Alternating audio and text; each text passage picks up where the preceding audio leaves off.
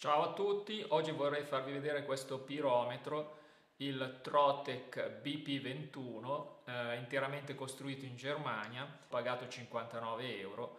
Il prezzo è più elevato rispetto ai soliti termometri cinesi in commercio, però ho visto questo, mi è piaciuto e eh, spero abbia una qualità migliore eh, ha alcune caratteristiche che sono il doppio laser per il puntamento, un angolo di, ehm, con un rapporto eh, 12 a 1, dopo vediamo che cos'è, e misura tra meno 35 gradi e più 800 gradi. Ovviamente io l'ho già aperto e l'ho già utilizzato come al solito perché quando mi arrivano queste cose non riesco ad aspettare quindi c'è una custodia di eh, plastica abbastanza robusta con un passante che può servire per metterlo alla cintura come fosse una pistola e quindi averlo sempre a portata di mano. Delle istruzioni abbastanza eh, super semplificate che spiegano soprattutto lo smaltimento, alcune cose di sicurezza e un codice che permette di eh, ottenere eh, delle istruzioni più approfondite che si possono anche scaricare dal sito con un pdf come ormai viene fatto eh, per quasi tutti i prodotti.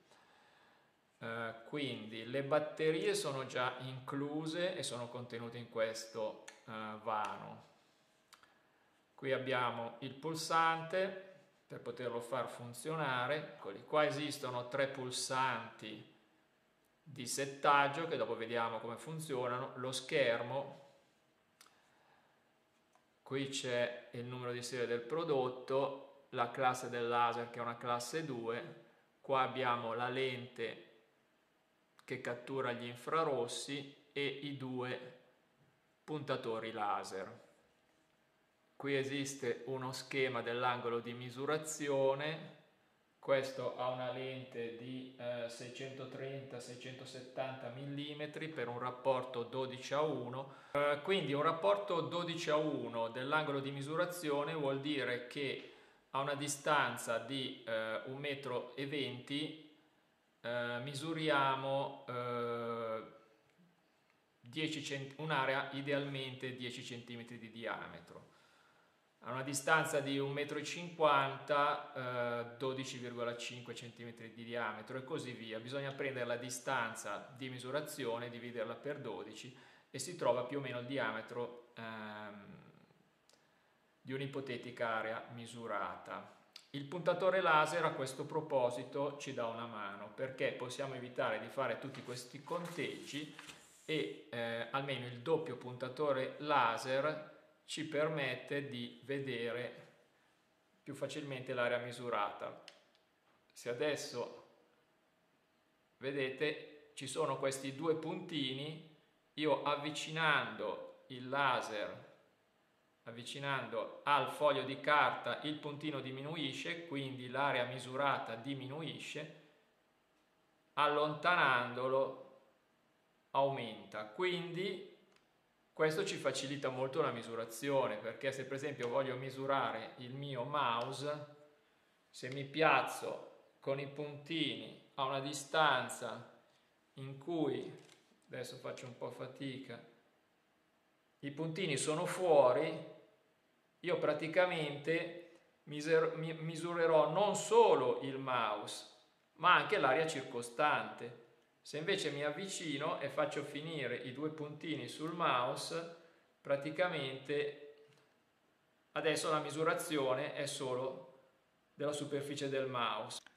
Allora, per capire il funzionamento, quando noi schiacciamo il pulsante di misurazione, ci viene indicata la, la misurazione che in questo momento eh, lo strumento sta misurando quindi la temperatura. Qua ci viene indicata quella massima perché in questo momento tenendo continuamente premuto il tasto siamo in misurazione continua. lui sta continuando a, misur- a misurare. Qui c'è uh, l'indicatore dell'emissività, che do- correzione dell'emissività che dopo vediamo, qui scanna, significa che sta continuando a funzionare, qui che il puntatore laser è attivo. Se blocchiamo, dice hold, è finita la misurazione, ci dà la misurazione istantanea dell'ultimo momento e qui la temperatura massima. Se vogliamo fare una misurazione continua dobbiamo tenere schiacciato e questo continua a misurare tutti gli oggetti che entrano nel raggio di azione. Se invece schiacciamo solo una volta ci dà la misurazione istantanea in quel momento preciso. Abbiamo poi delle opzioni tipo il laser può essere, che è dato da questi concina, può essere disattivato così, bisogna lasciare il tasto, questo viene disattivato, adesso il, il raggio laser di eh, supporto alla misurazione non è più eh, attivo, quindi si può sempre continuare a misurare ma senza indicatore laser. Può servire toglierlo nel caso abbiamo paura che finisca negli occhi a qualcuno che possa disturbare eh, qualcuno. Comunque adesso io lo rimetto. Stessa cosa questa per la lampadina della luce. Per esempio quando io accendo si accende il display, così posso disattivare. In questo caso la misurazione avviene lo stesso, funziona tutto ugualmente, l'unica cosa è che il display non si illumina. Se io non ho bisogno di illuminare il display posso disattivare l'illuminazione e quindi risparmiare ulteriormente la batteria. Qua basso, adesso riattivo l'illuminazione, qua basso c'è eh, l'indice di eh, emissività che può essere eh, modificato. Quindi per capire questa cosa dobbiamo però fare un breve ragionamento. Quindi questo eh, termometro misura eh, le onde a infrarossi perché tutti i corpi emettono delle onde elettromagnetiche e queste onde sono diverse a seconda della loro temperatura. Quindi noi, eh, cioè noi, il termometro utilizza queste radiazioni per misurare senza contatto la temperatura di un oggetto. Quindi supponiamo che questo sia l'oggetto. Ok? E questo qua è il nostro strumento. Ok, qua esiste un'emissione di... Ehm, di raggi infrarossi. Ovviamente eh, non tutti i corpi hanno la stessa emissività, cioè capacità di, di emettere onde ele elettromagnetiche. Inoltre c'è anche un uh, fenomeno di riflessione, cioè vuol dire che ci sono delle onde elettromagnetiche che vengono riflesse e che ci vanno a sporcare questo segnale di emissione Quindi emissione, questa riflessione. Quindi questa riflessione ci va a sporcare questo segnale di emissione. Inoltre c'è un fenomeno di trasmissione, cioè è possibile che eh, delle onde passino attraverso l'oggetto, soprattutto se l'oggetto è sottile.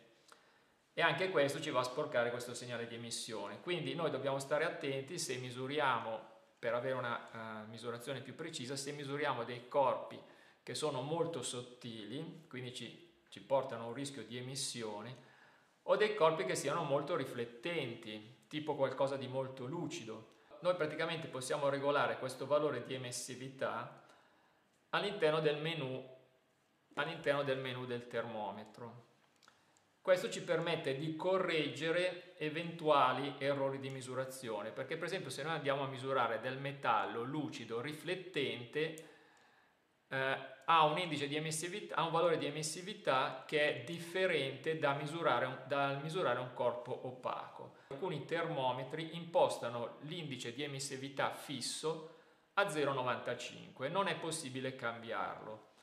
Questo cosa vuol dire? Vuol dire che 0,95 va bene per la maggior parte dei materiali, per esempio per i materiali organici, per gli alimenti. Però per un metallo lucido può non andare bene. Per sapere quali valori di emissività impostare per ogni materiale eh, ci sono delle tabelle che sono presenti sia sul manuale di istruzioni ma si trovano anche su internet perché sono tabelle universali eh, sono state calcolate utilizzando eh, dei termometri a contatto che sono più precisi dei termometri a infrarossi. I termometri a infrarossi però hanno il vantaggio di essere più veloci nella misurazione e eh, di poter eh, lavorare a distanza. Quindi vediamo adesso il menu nel dettaglio. Eh, schiacciando mod, qui eh, lampeggia la E, poi con i tasti freccia su e freccia giù si può eh, modificare questa impostazione. Adesso la lascio a 0,95. Schiacciando un'altra volta il tasto, ecco si è già spento, schiacciando un'altra volta il tasto Mod si va a modificare i gradi da Celsius o Fahrenheit, schiacciando ancora si può scegliere tra massima e minima, cioè quando, c'è la misurazione, quando utilizzo la misurazione continua se tengo sempre il tasto schiacciato faccio la misurazione continua. Se invece lo schiaccio solo una volta la misurazione spot. Al termine della misurazione continua, dove la temperatura può variare, eh, sul display mi viene, mi viene indicata qual è la temperatura massima che io ho misurato all'interno di questo intervallo di misurazione. Posso anche selezionare volendo la temperatura minima, sempre entrando in questo menu altre funzioni del menu sono la possibilità di bloccare ehm, la misurazione, cioè nel senso che io per fare la misurazione continua devo tenere il tasto schiacciato. Per fare quella spot schiaccio una volta e basta. Ecco, se metto on dove c'è il lucchettino, è sufficiente che premo il tasto una volta, poi lo, lo, lascio andare e questo rimane sempre attivo nella misurazione continua. Quindi non ho bisogno di tenere eh, schiacciato il tasto, però preferisco tenere schiacciato il tasto perché tanto non è che mi costa molta fatica. Poi altri settaggi sono Qui abilito l'allarme sulla temperatura massima, qui imposto il valore della temperatura massima al quale deve suonare, qui imposto un valore di temp- eh, abilito l'allarme alla temperatura minima, qui imposto un valore di temperatura minima al quale l'allarme deve suonare.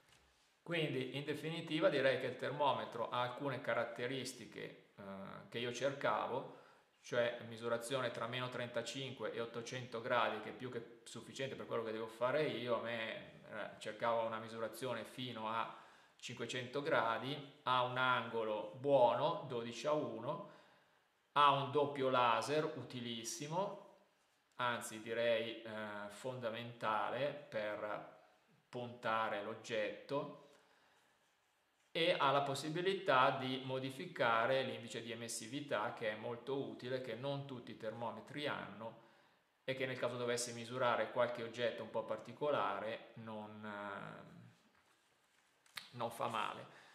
Ovviamente io personalmente sono eh, soddisfatto dell'acquisto, poi eh, ognuno deve valutare per ciò che deve fare se vale la pena fare un acquisto di questo tipo.